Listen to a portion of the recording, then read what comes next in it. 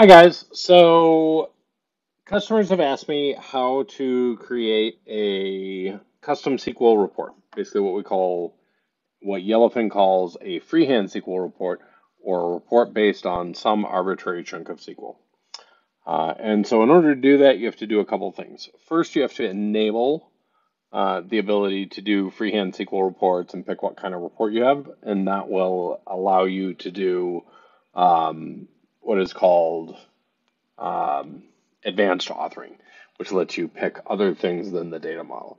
Now, you have to be careful with this for a variety of reasons, not least of which, if you do um, a really, really ugly piece of SQL, you could either damage your database or you could run a um, uh, you could run a report that consumes a lot of resources. So we're going to assume that if you're looking to do this, you know what you're doing and you know that uh, custom SQL should only be used for read-only activities. So you're going to need to start by logging in. Uh, if you were to do a fresh install of TrueSight Smart Reporting for Server Automation version 2002, this account would be called uh, TSR Admin, uh, just like this. Uh, but in my environment, it's actually called the admin account, which is admin. And there's a particular password for that. If you need that password, go ahead and uh, call security or call support and they will hook you up. So you need to go into the admin console, which is up here. And then when you go into the component, instead of going into TrueSight Automation Data Warehouse, you're going to go into the default component. What that's going to do is that's going to allow you to have access to um, some of the permissions underlying the smart reporting platform. So you hit the drop down on the left side, you see administration, and you'll know you're in the right component if there's a bunch of stuff down here. Uh, so we're going to go into the admin console and we're going to come down to roles and we're going to scroll down and find the TrueSight Manage Reports, which is um, one of the broader roles within server automation. And all you need to do is when you scroll down on the permissions to the left, uh, when we go build a freehand report, we're going to do it in the component that's called the report builder expand this down, you need to be able to create report types, and you also need to do freehand SQL fields. So you check those two things and go save your work, which I assume is up here. There we go, save. And when you do that, you can then log out and log in again.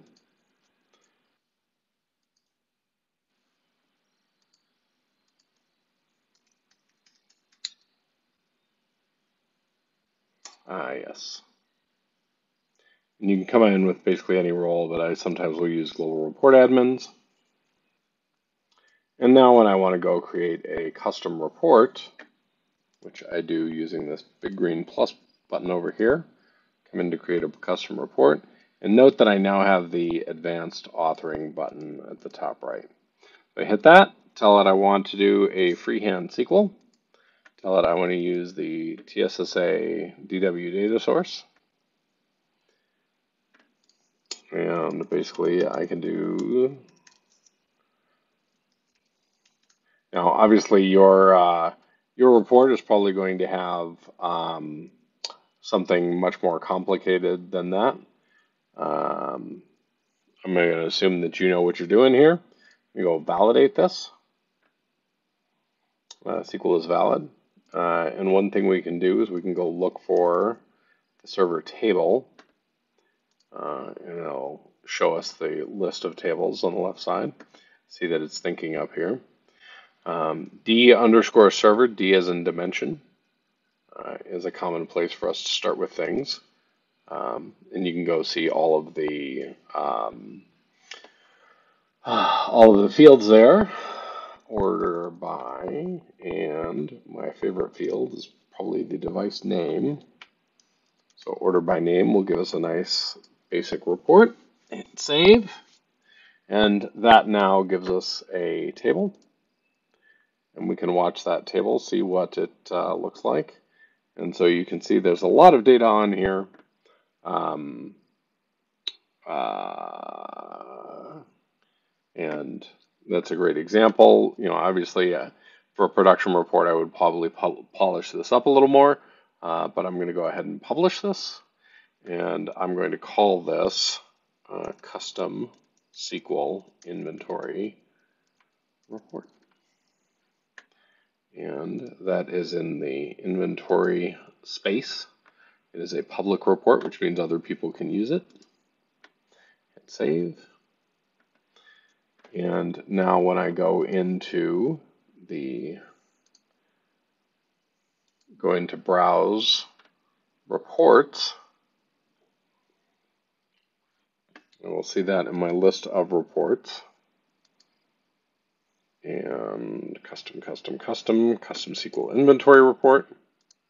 And if I want to go uh, make that a favorite, I can add that to my favorites. and